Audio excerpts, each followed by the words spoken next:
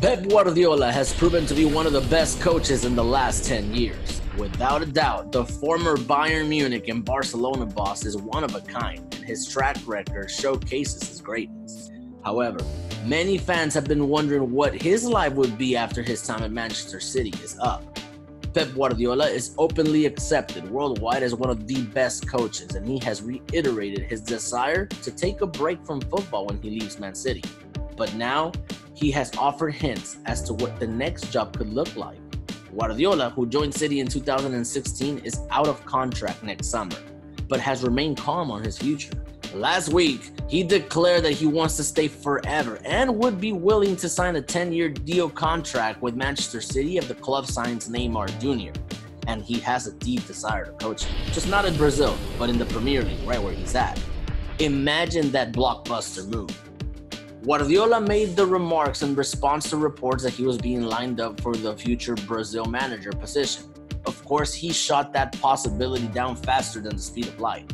But that had nothing to do with the fact that he wants to coach Neymar. He just wants to do it at Man City if he had it his way. He has also been linked with the Argentina job, which he confirmed his intention to take a national team role in the future after leaving City. However, when he was previously asked about his future past 2023, Pep remained calm and insisted that he will talk with City when the time is right. He has a good, open relationship with the club, and he has also said he intends to take a break from football whenever he does leave the club. He repeated that decision to several sources, adding his national team ambition, saying, One day I would like to be the coach of a national team, but I would not like to choose that immediately. I need to rest for a while. To be fair, it has been non stop work for Pep Guardiola. He is exhausted, and no one can blame him. He follows very heavy schedules with each of the teams he has coached in recent years. Three leagues, three distinct countries, in addition to European competitions, and that additional travel workload. If Pep decided to go with Argentina after Man City, Neymar will not be the major superstar he coaches. Instead, it would mean a reunion with Lionel Messi, and Guardiola was full of praise for his former Barcelona star.